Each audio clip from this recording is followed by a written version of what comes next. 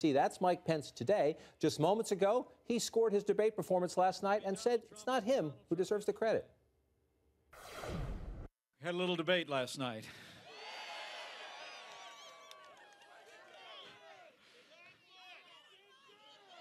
It was at Longwood University, and I was humbled and honored to be there. Donald Trump called me late last night from Nevada to congratulate me on the debate. That really meant the world to me. It truly did. Some people think I won.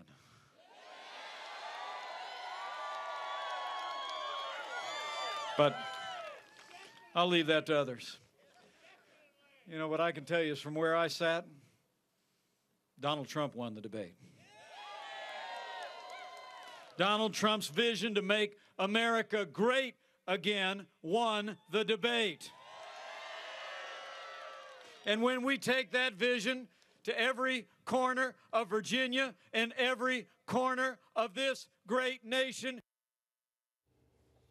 Um, comes with the job, I guess, right? Uh, if you're a, anybody's running mate, but especially Donald Trump's running mate, to make sure you deflect credit up the chain. He certainly knows what candidate he is running with. Look, it, I think it is going to be difficult for Donald Trump to look at the reviews of this debate and see that people applauded Mike Pence for having a polished performance, but also being able to drive the conversation to the issues he wanted to talk about, like Hillary Clinton's emails, for instance, in a way that Donald Trump was not prepared or just declined to do when he was on the debate stage with Hillary Clinton. And this is the difference between actually doing debate prep, going.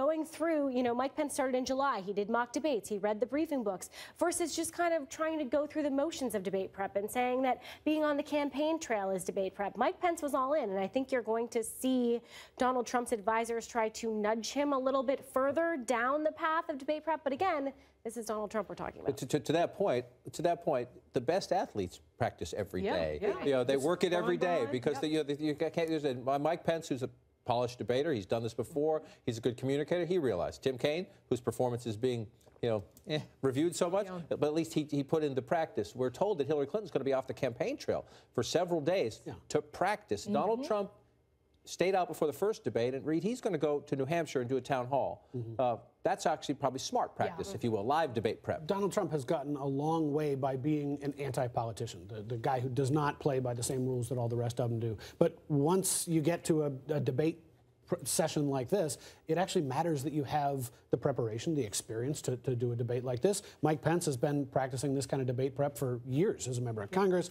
as a governor. He's been on, on television doing these kinds of debates uh, on, on the Sunday shows and things like that. And, and that difference really showed. It showed uh, when, when Hillary Clinton faced off with Donald Trump. It showed in the comparison between Mike Pence and Donald Trump. Uh, the, the question of, of whether or not his advisors can actually convince Donald Trump to sit down and do the debate prep.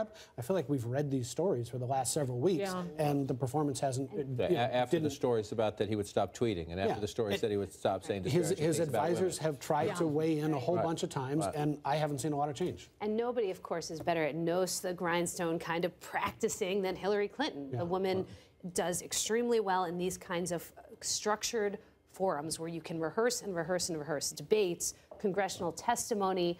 So I think people sort of forgot that. There was a little underestimating of how good she can be in these kinds of things because she's not so great on the campaign trail all the time right. and off the cuff.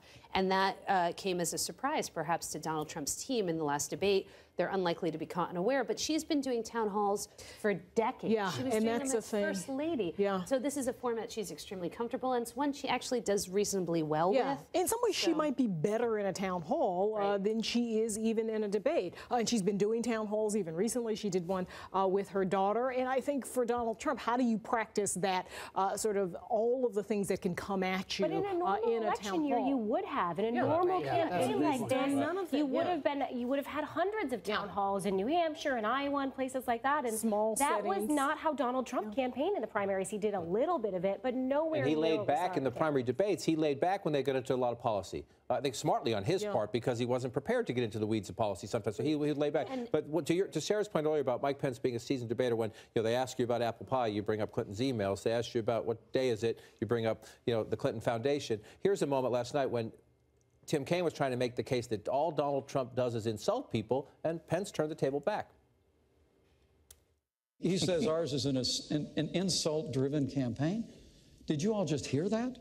Ours is an insult driven campaign.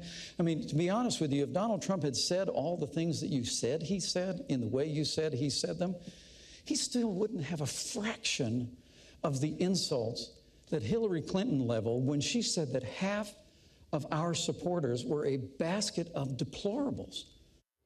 Now, again, Pence did not specifically defend Trump on a whole lot of things Right. that Trump has said. But at least in that moment there, he tried to get the conversation back on favorable Yeah. territory for them. Yeah. But there And is a risk yeah. of, of overcorrecting here, right? Like one of the things that people are praising about Pence is that he was able to turn the conversation back and go after Hillary Clinton's foundation and emails. Donald Trump, I'm sure, is hearing all that. That's really hard to do in a town hall. You have someone who comes up and is talking perhaps about their deceased Mm-hmm. family member, a veteran, or whatever, and to pivot from that to uh, Hillary Clinton's emails or her husband's marital infidelities is a really hard. Yeah, Donald Trump's going to have to show some humanity and some uh, some compassion uh, and some connection with those voters uh, in that town hall, and that's something he hasn't done. Ju- before. hang on, what's judgment on your feet? Judgment on your Yeah. feet to know if you have an attack that you not- need to launch, pick your moment, don't do it. And an Arkham, it's a great